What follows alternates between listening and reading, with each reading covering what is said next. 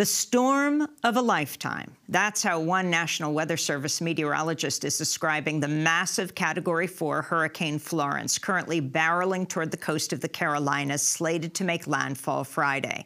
The National Hurricane Center is warning of a life-threatening storm surge, as well as massive flooding and highly destructive winds. This is North Carolina Governor Roy Cooper.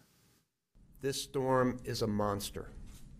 It's big, and it's vicious. It is an extremely dangerous, life threatening, historic hurricane. That's why I'm ordering a mandatory state evacuation for our barrier islands.